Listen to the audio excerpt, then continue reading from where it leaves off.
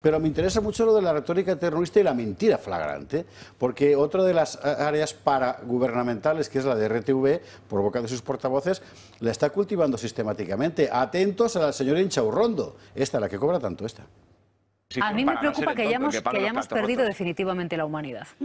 Claro. Es que es lo que me preocupa. La humanidad ¿Dónde está la humanidad? No se lo va a dar nadie. Quiero decir, porque todo esto se puede ver como una gran oportunidad. Son gente a la que se puede formar y que van a ser aportando su talento.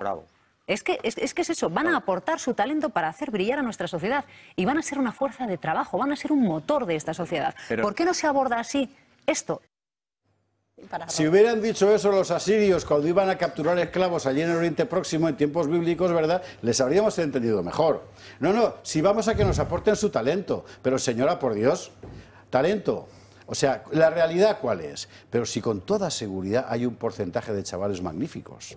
El problema con esos chavales, como con todos los chavales del mundo, ¿verdad? Es que o les metes en vereda, sean de aquí, de Tailandia, de Siberia, ¿verdad? O de Marruecos, o si no, pues ser un desastre.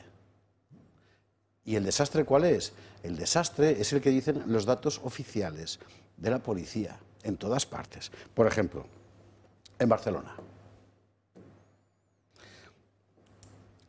Los menas magrebíes cometen el 80% de los delitos en Barcelona, según la Guardia Urbana de Barcelona el 80% de los delitos en la capital.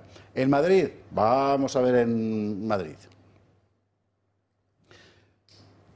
Tres de cada cuatro menores detenidos son menas en Madrid.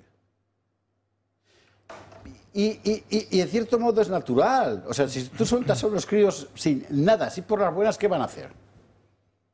Ah, pueden ciertamente irse a leer mis libros al Parque del Retiro, pero sospecho que no. Bueno, los de Juan Antonio también incluso los artículos de derecho administrativo de Antonio Alonso Timón. Pero no, oiga, no, la realidad es esa.